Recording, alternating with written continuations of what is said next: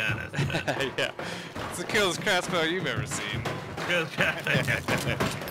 I know, I shot crossbow. If I had a rifle, I could have had two kills, but my the heavy crossbow bolt was not reaching the distance I was requiring. oh shit, yeah. And it was all bad. It's clear still. So, uh, south? Yeah. Watch out, I'm not gonna say that was hilarious,